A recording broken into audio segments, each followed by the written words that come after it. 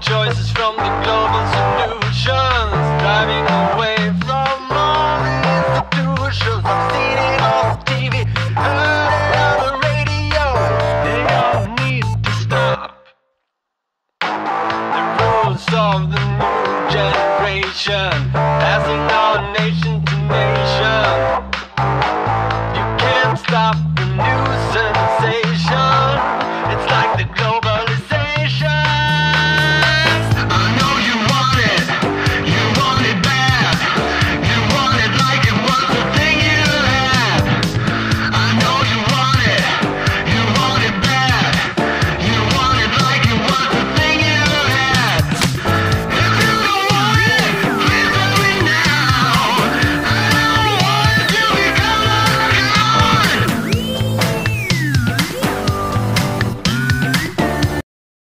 everybody, Fox 4 India Charlie Echo here. Uh, want to present you today the uh, Pixie 40. Bought it from the internet. Uh, it's a small kit you can find on uh, on eBay. It goes around. When I bought it like two years ago, it was like five dollars. Uh, the kit and the plastic container. It's a very nice kit. Um weighs a few grams. Uh, I didn't uh, I didn't weight it, so I, I really don't know. So uh, it has uh, audio jack, CW key jack, small buzzer that you could activate and deactivate from this pin, and a small frequency control. You go between oh uh, seven oh twenty three near to I don't know one kilo up or down. It's not too much, but it's there. Antenna jack, 12 volt jack, and uh, usually I powered it with many many outlets like 9 volt, 9 9 volt batteries, and now I have a. Um, an eight pack that I bought from the internet about one dollar from eBay, and uh, I put in some uh, LADDA 2450 milliamps uh, from uh, uh, IKEA, from the from the IKEA. Oh, sorry, from the IKEA shop. You found you found everywhere. They're very practical. They're very cheap, and uh, usually I use it with, uh, with a long wire that I, I fixed. Uh, there are two pieces, one of 20 meters and another one for the tail that I measured that goes in 7 mega 7 megahertz and uh, with with a, with a jack that I use to plug in directly and usually for audio to uh, to have some something like audio but very very small. I usually usually use a crystal uh, headset that is very very cheap. Uh, bought this from England and uh, doesn't weigh almost anything. And I picked up an old key from uh, from a flea market and uh, well, that's the setup. And usually when I take it with me I take it in a, in a small bag like this one. It's a first aid bag. It's also cheap. It's like 4 euros or 5 euros here in France. Bought it from Intersport. And it's very nice because it's waterproof and uh, you have uh, a clean line zipper with uh, rubber on it so water doesn't get in.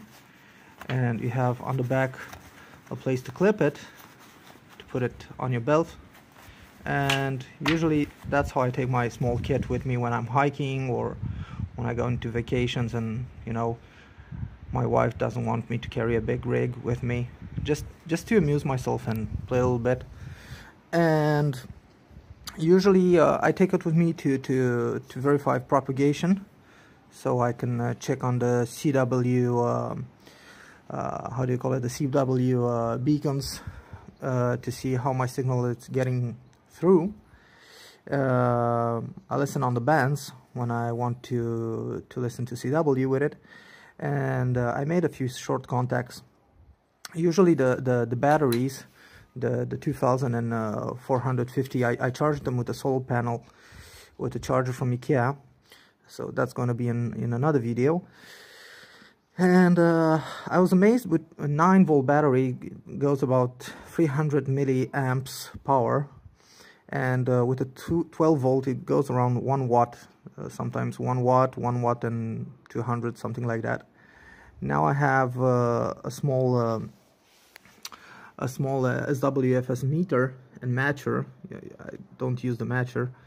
And I'm using a vertical 7 megs antenna a small telescopic 7 megahertz antenna. And I just want to show you how how does it have how does it work and how how's the output going with the with the APAC?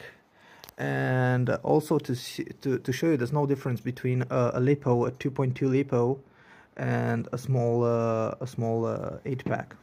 So with the APAC I don't know if it we can see it very good. It goes like about 1 watt it goes about 1 watt